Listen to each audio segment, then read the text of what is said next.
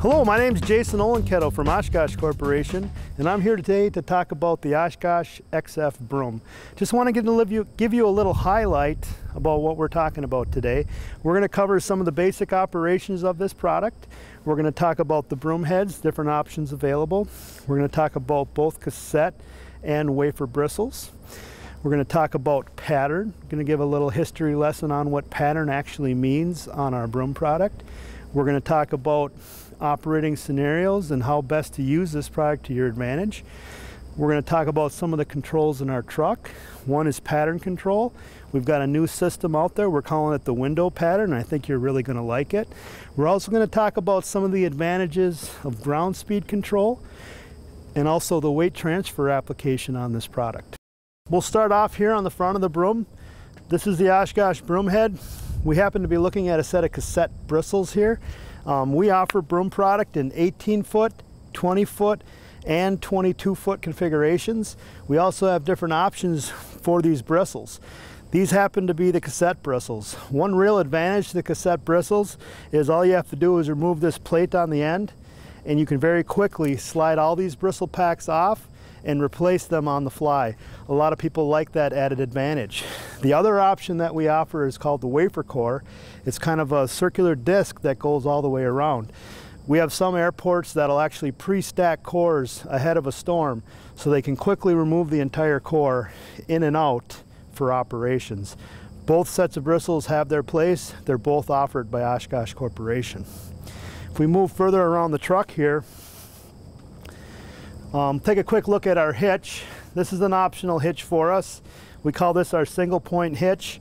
This hitch is available in both 35 degree and 45 degree configurations and we can provide this with four casters on our broom head in all three sizes 18, 20 and 22 foot. We also have a parallelogram hitch. Some of our customers prefer that. That hitch is available in 35 degrees. Up front here you can see this truck is actually equipped with our optional quick disconnects. In the event that you want to be removing your broom more frequently, this is a good option for you to consider. Moving around the truck here, this is your standard H-Series cab. We've been in production with this for about 10 years now. Um, 27,000 pound front axle, 26,000 pound rear axle, your basic standard H configuration. If we move around the truck here, uh, these are our jet blowers. So we've got the jet blowers, one runs on each side of the truck. They're coordinated with the broom head. If you're brooming to the right, the jet blowers will broom to the right. If you swing the broom over, they will automatically switch to the opposing side. And they're also coordinated to move up and down whenever you're taking the hitch off the ground or putting it down. Moving further back, we do offer 250 gallons of fuel on this platform. Um, there's a tank on each side, also equipped for single side fill if you so choose. Our broom engines are available in the QSX for a Tier 4 initial, and we're moving into the QSG Tier 4 final broom engine for our platforms. This engine is available from 350 up to 500 horsepower. That's dedicated to operating the broom head. In the back of the truck here, we have an ISX 12 this is a Cummins on-highway engine. It's 2013 emissions. It's going to pass emissions control for any situation out there on highway or for airport usage. Moving around the, the back of the truck, this is the DEF tank. You've got to fill this DEF tank. Your drive engine technology, the 2013 emissions, utilizes DEF fluid in order to meet the EPA's requests.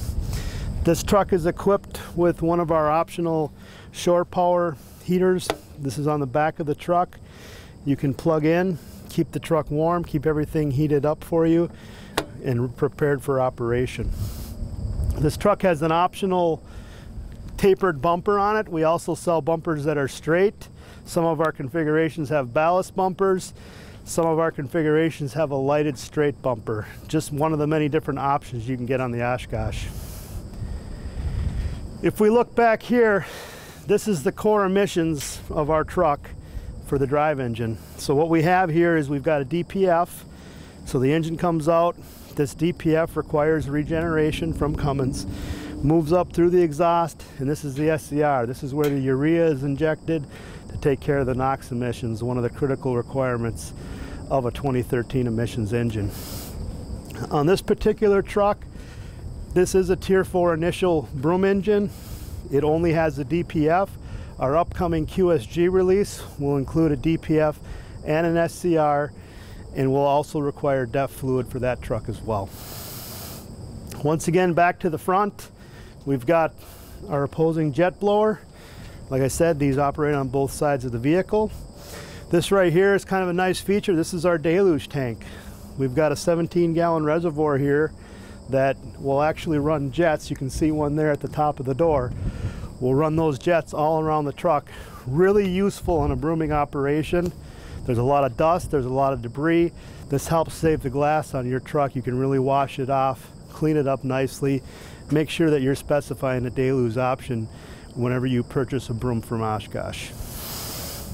Uh, moving over here, talk about our broom controls a little bit. This right here is uh, where the magic happens for our broom. This is called a smart cylinder.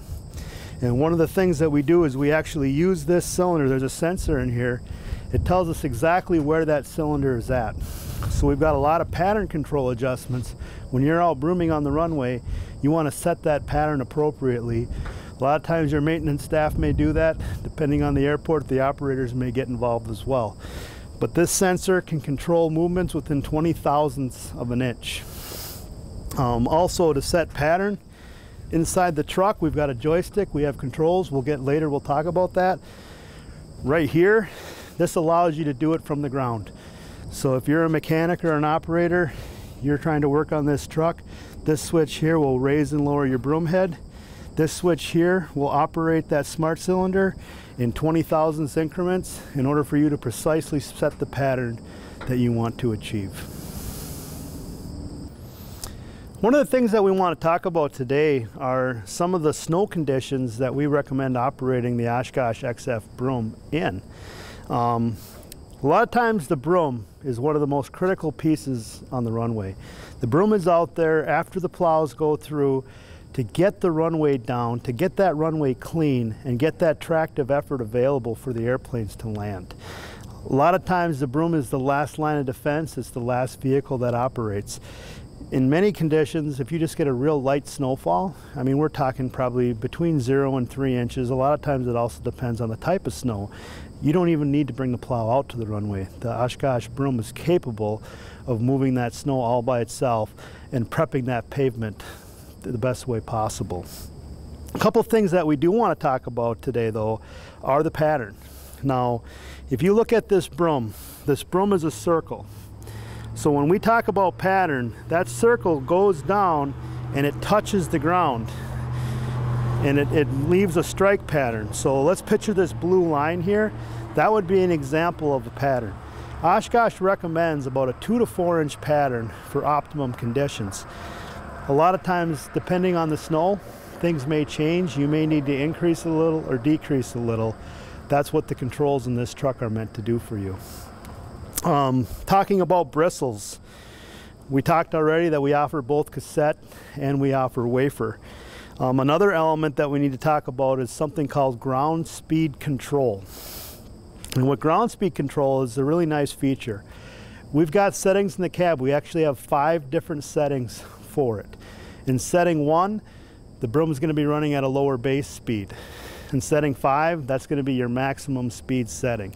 But what ground speed control does is as you drive the truck faster, this broom is going to actually speed up because our main goal is to try to optimize the number of bristle strikes per linear foot traveled as you're driving. Speaking back to the bristles again, on a cassette style design, you've only got 28 rows of bristles. So you do have some advantages for taking the bristles on and, and, and putting new ones back on, taking them off, whatever. Um, but we recommend usually to run a little bit higher speeds in ground speed. I would say probably start out at ground speed 3 or ground speed 4 if you're using cassettes. For the wafer design, it's a continuous bristle all the way around. There's actually more bristle there. So in the case of ground speed control, we're going to recommend that you probably start in ground speed 2 or ground speed 3 to best optimize that for your performance. Um, one other thing I can say about ground speed control is not only does it match speed based on how fast you drive, it will also increase the speed as your core gets smaller. Um, if the core is smaller, you're going to need to spin it faster once again to achieve that strikes per linear foot traveled. That's already built into our ground speed control. I want to talk about weight transfer on the Oshkosh XF broom. Um, if you look at these cylinders on the front of the truck right here, these cylinders are actually supporting part of the weight of the broom head during operation. Um, one of the reasons we do this, number one, is we have pneumatic casters on this head. The fact that those cylinders are carrying some of the weight, this is a, over a 10,000 pound broom head, that helps maintain the life of these wheels and tires during operation. The way the system works is we actually have a pressure transducer that's tied in to the base of this cylinder. We've, through testing, we've specified precise values. So whenever you're operating this truck, if you're driving over three miles an hour, weight transfer is gonna automatically activate. We're gonna hold a portion of the weight of this head with those cylinders does a couple things for you. Number one, it makes brooming operation a little smoother. Um, if you're going through undulations on the runway, this system is going to actually react like an active suspension and keep things smoothed out. The other thing that it does is by taking some of the weight off the broom head, we're actually adding weight to the front axle of the truck. That's going to improve your controllability it's going to allow you to steer better and it's going to allow you to have better traction and better tractive effort moving forward during the brooming operation.